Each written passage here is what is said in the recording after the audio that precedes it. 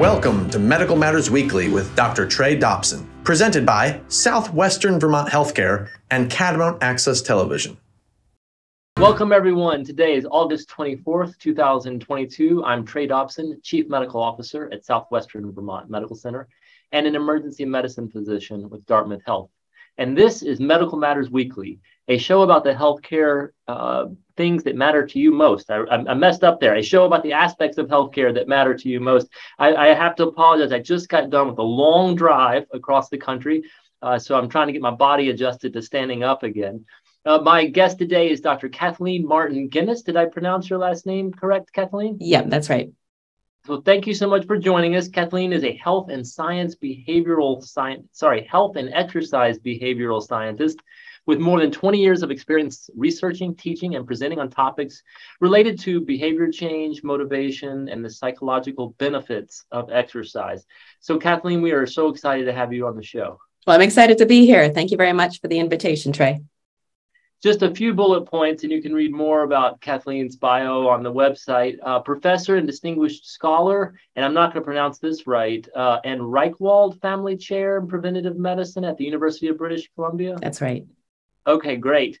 Uh, principal investigator of the Canadian Disability Participation Project, and then importantly, uh, gets a lot of money, actually, uh, not for her own use, but for her research use and that of her staff uh, through through uh, grants and other types of initiatives. She actually recently received $11 million in research funding as the principal investigator, the PI, uh, and $20 million in total research funding. That's pretty amazing. That must be a, a passion because I know that's a full time job itself.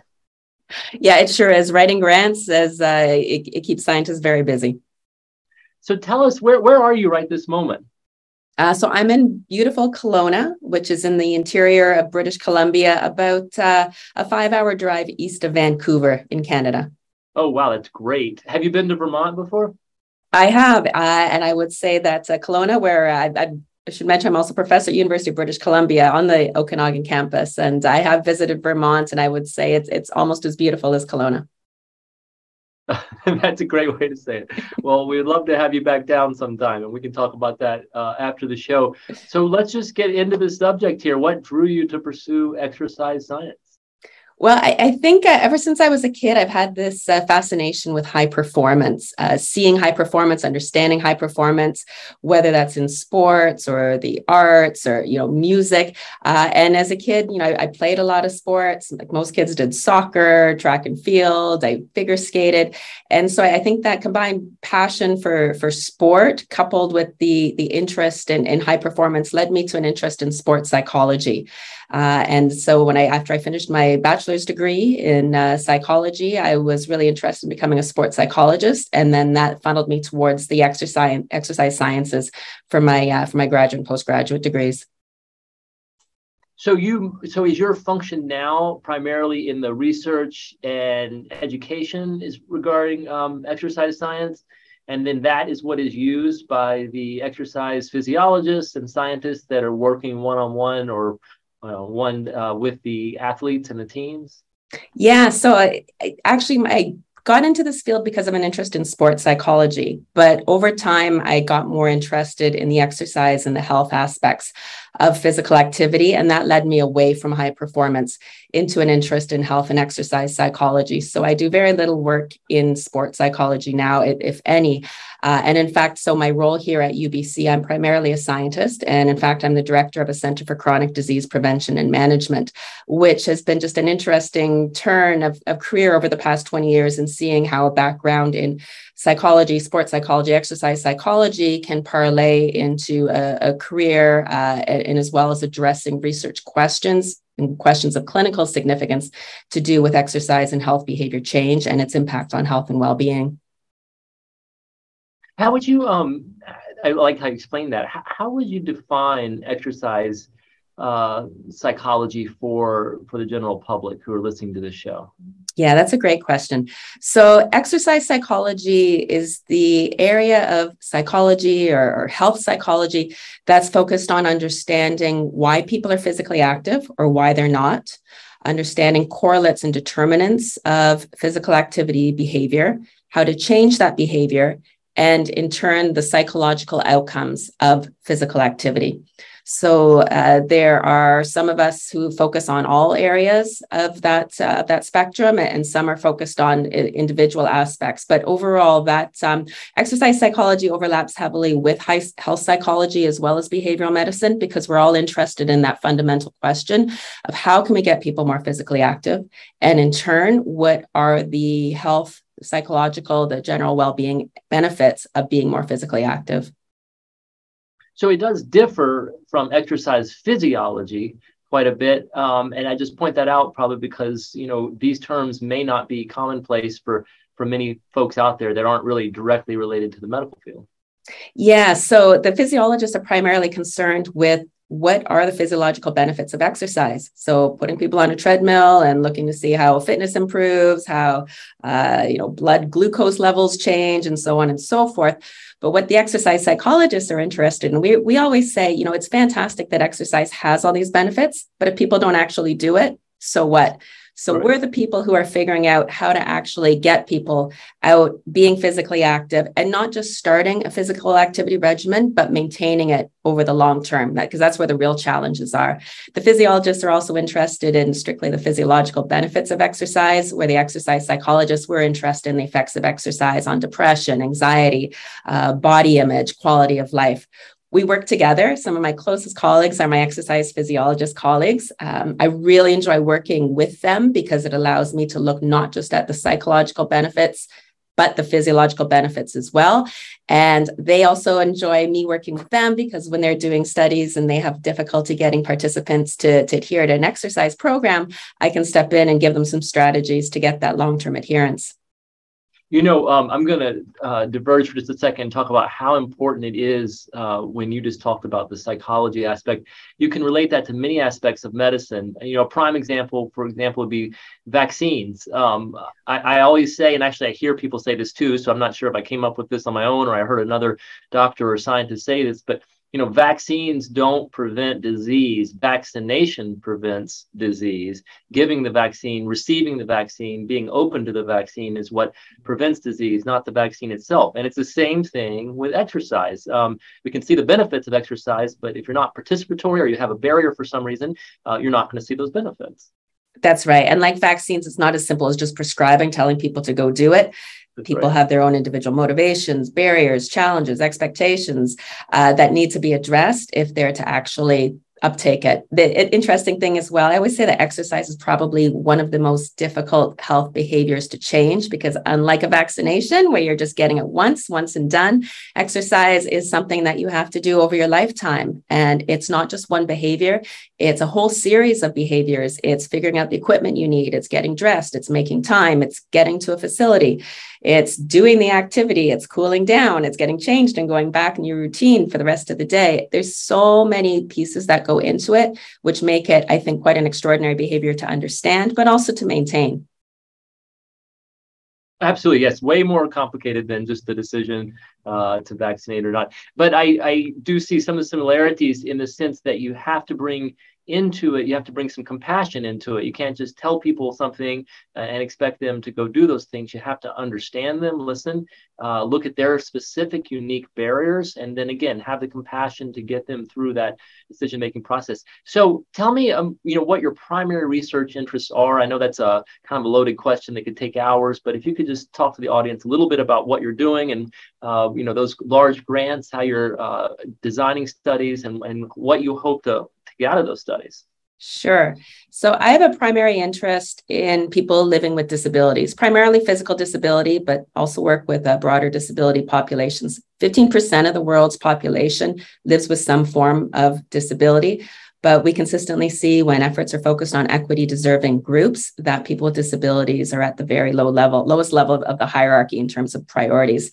So, my team works on developing strategies to promote physical activity for people with disabilities. And I say promote, I don't mean just telling people that it's good for them, but figuring out how to address the barriers to support people in initiating and maintaining physical activity long term and I'm also very interested in understanding the health and, fit and psychological benefits of physical activity. I suspect that the amount of exercise that people with disabilities need to do to improve their health and well being is lower than what's required for the general population, simply because people with physical disabilities are at, a lower level of fitness and physical activity than the general population.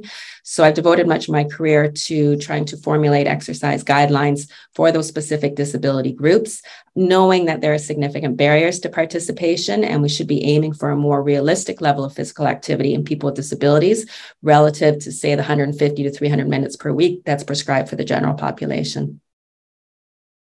And are you mostly talking about, Kathleen, the physical disabilities, or there's some cognitive disabilities as well that your research is focused on? Uh, yeah, I would say about uh, 90% of my research is focused on people with physical disabilities. I have a primary interest in people living with spinal cord injuries. Uh, but as you mentioned, I run the Canadian Disability Participation Program, and I work with almost 50 other scientists and community organizations.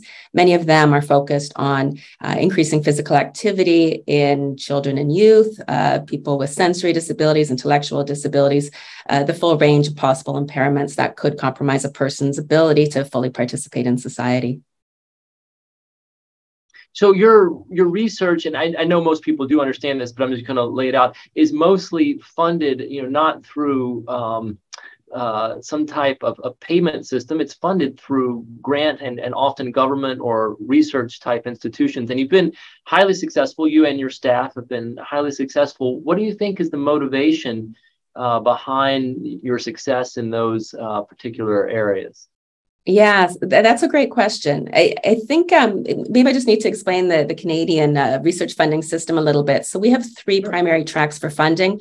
We have a natural sciences and engineering tract, which I don't get funding from. We also have a, a CIHR, Canadian Institutes of Health Research, which is very similar to the NIH, and then a social sciences stream. And I think in getting funding from those federal funding streams, in my case, it's I've been able to.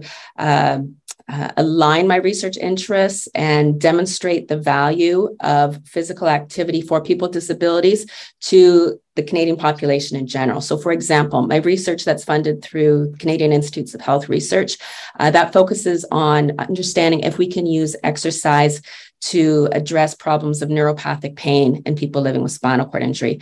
We have a huge opioid mm-hmm. crisis in Canada, as I know also in the US. Uh, and so, by strategically aligning my research program to address pain through non pharmaceutical means, that aligns with priorities of our fe- federal government in trying to, to mitigate the, the opioid crisis in our country when I'm funded through the social sciences stream, uh, say, as I mentioned, we have 15% of our population living with disabilities. It presents not just a huge uh, financial um, uh, burden to our to our healthcare system, but it, it's a huge social problem. We know people with disabilities live in social isolation. They're uh, more likely to live in poverty, poverty, to be underemployed. If we can develop strategies that use physical activity to support the physical, mental, social well-being of people living with disabilities, that's good not just from a financial perspective from our country, but also from from a, a social, from a workforce uh, uh, perspective as well. So I, I think those are some of the reasons why I've been able to to translate some of my research interests into funding is because it's aligned with those priorities. And then also because in my lab, we're a community engaged research lab. What that means is that from the mm. entire research process, from developing the research questions to writing the grants to implementing the research, I work very closely with the disability community, people living with disabilities, disability organizations, so that when we finish conducting the research, we're well we're well positioned to take that research and turn it into products tools and services that people living in the community can actually use. So there's this constant give back within my research program and i think that there's great appeal uh, of that to uh, to the, to the funders that we work with. I love the term community engaged research lab. I mean that is just fantastic. Do you actually say that out loud we do. And I have a community engaged research suite just down the hall from me, which is a, a big area where accessible, we can bring people in and uh, work on our projects together. So yeah, that's that's how we brand ourselves. That is fantastic. I may borrow that phrase or some uh, rendition of it someday. It's so super. Um, so, you know, everyone is really interested in, in motivation and behavioral change. Actually, I shouldn't say that. Not everyone, but many people are interested in it. And do you have any insights you can uh, deliver to the, this audience in about three minutes? Sure thing. Uh, I'll so I'll do three, three and three no, minutes. No, I was teasing. I just mean you could talk for hours on this. I am certain. So please take your time. Giving me a three minute limit's a good strategy, Trey. Uh, so I'll, I'll give you three. Two of them are, come from sort of the broader broader literature. I can't lay claim to them, although they're things that I have worked on myself. Um, but I think first of all, when it comes to motivation, we know now that it's not just about the amount of motivation. People will say, Oh, I don't have any motivation. I'm not motivated enough. We know that it's not about the quantity of motivation. It's more about the quality of motivation that's going to determine whether we initiate and maintain a physical activity program long term. And what I mean by that is that you have, to, you can't just go out there and exercise because your doctor told you to, or because your family member is pushing you out the door. You have to find your own reasons. And we know that people who have, uh, who enjoy exercise, who have these intrinsic motivations for exercise, they're going to be the people who are more likely to stick with it rather than the people who are signing up for gym membership to look good when they go to the beach. You know, that's a very extrinsically motivated right. reason to exercise. So I tell people like everyone has a reason for exercising. And I've, I've heard lots of very creative reasons over the years from the from the elderly woman who wanted to stay fit so she could wipe her little dog's feet. When the dog came in from the backyard she wanted to be fit to be able to get down and up and do that to uh, you know people in their 40s and 50s who still want to participate and compete in, in sports. I've heard everything in between. The key is to find your reason and to really internalize it and to to value that reason and, and to value um, the priority you placed on that reason for being active. So that that's sort of the i think the first key insight. Um, the second is that uh, when it comes to changing physical activity behavior over the long term, uh, there's a group of scientists in the UK who've developed this fantastic ta- taxonomy of 93 different behavior change techniques that can be used to change behavior. In physical activity, the most effective ones we see are action planning and self monitoring. What that entails, it sounds so simple, Trey, but I've seen threefold increases in physical activity in people with disabilities who use this technique, let alone the general population. It simply involves opening up your calendar app or your pencil and paper calendar, scheduling your activities really specifically. So choose what days per week do you want to exercise, at what times, for how long, and where. The more specific you can be, the better schedule that time. And then as each day comes up you know monitoring are you doing the exercise that day? Are you having a hard time fitting it in? If so why? And adjusting. Again sounds so simple but of the 93 different behavior change techniques that's the one that consistently comes up again and again as being effective in helping people initiate and maintain long-term exercise program the third uh, key insight is something that we've been working on in our lab, and that's looking at uh, from a mental health perspective, we're starting to see that it might be more the, the the quality of the physical activity people are doing rather than the quantity of activity that they're doing in terms of improving aspects of quality life. Now, this is just in people with disabilities, but I think it might have generalizability to the general population. And what I mean by that is that it may not necessarily Certainly for health benefits, we know that there is a threshold of activity needed to derive uh, reductions in risk for certain cancers, for COPD, for diabetes, and so on. But for mental health, it's always been a, a, little fuzzy about how much activity is necessary. And we're doing work with people with disabilities, which suggests that it's not the, the number of minutes that leads to some of these changes in mental health, but it's whether the activity they're doing leads to uh, feelings of autonomy, belongingness, challenge, engagement, mastery, meaning. These six key elements we've identified as key to a quality physical activity participation experience. And we're starting to see that by ensuring that people experience at least a couple of those elements in each of their workouts, that this could be more conducive to, to seeing improvements in, in their mental health. I think that was a little more than three minutes but I, I, I hope I gave you three good ones. No, it's perfect though. I'll, I'll go back to number two and just stress that one, um, which is you know making the exact um, specific time and ha- and maybe even location uh, and duration of the activity. I think we can all relate to that. Um, just for other aspects in our life, you can have a really long to-do list, but that list doesn't do much just sitting there unless you've blocked off the exact amount of time that it's going to uh, take to get it done. And I know I still am guilty of that today. I have a long to do list, but if I don't put it on my calendar, chances are by the end of the day, I will look and at least several items will still be on that uh, to do list. And so when I think about exercise, knowing exactly that I'm going to block that time off for myself, no one else can interfere with it. It also motivates me.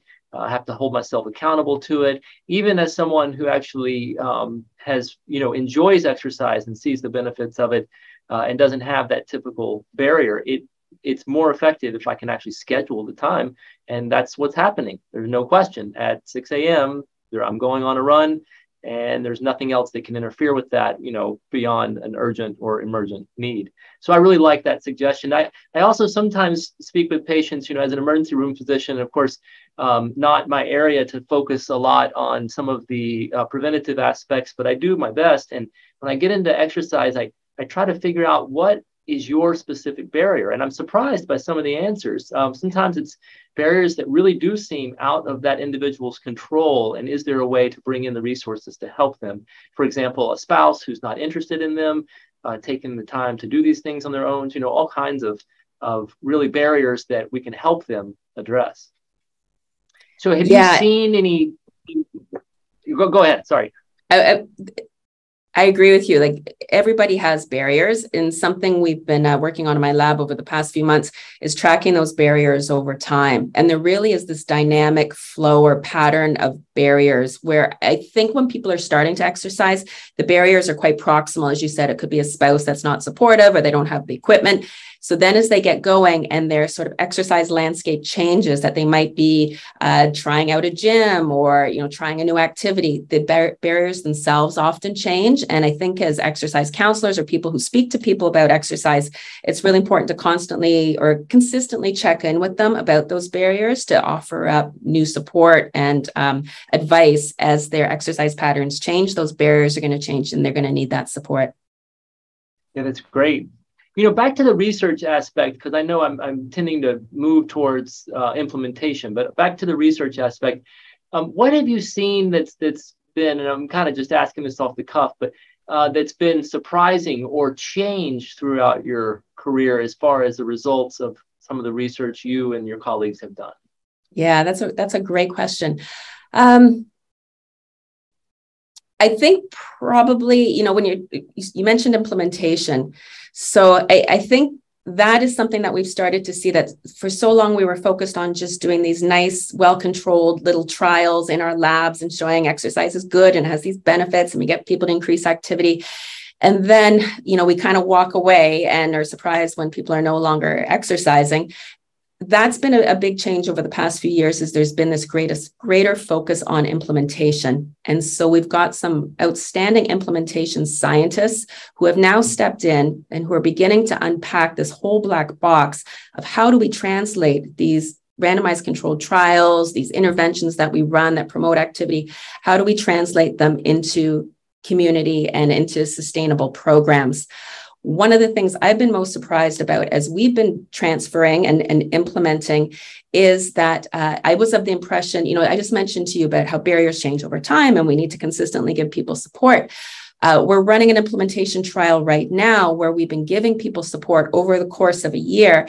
And interestingly, at about uh, three months or so, people people seem to get it. Like we give them con- continuous physical activity counseling, but after three months, like, all right, enough with the phone calls. I've got it. So that's been surprising to me to have sort of a mind shift that you know, people can do. We haven't been giving people enough support traditionally because we finish the trials and we leave them to their own devices. On the other hand, people don't need support, I don't think, forever and ever. Uh, they might need to check in every once in a while, but they don't need hand holding. So there is a, st- a sweet spot, I think, for um, uh, supporting people in their physical activity programs. We're still trying to figure that out, but I think it probably is about uh, three to six months.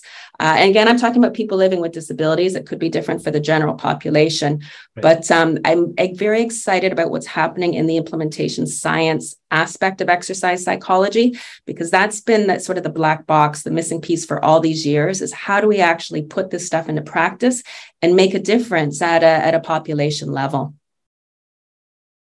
you yourself are, are, a runner, I am told. Were, were you um, a runner prior to going into this career, or was being in the career what motivated you to run?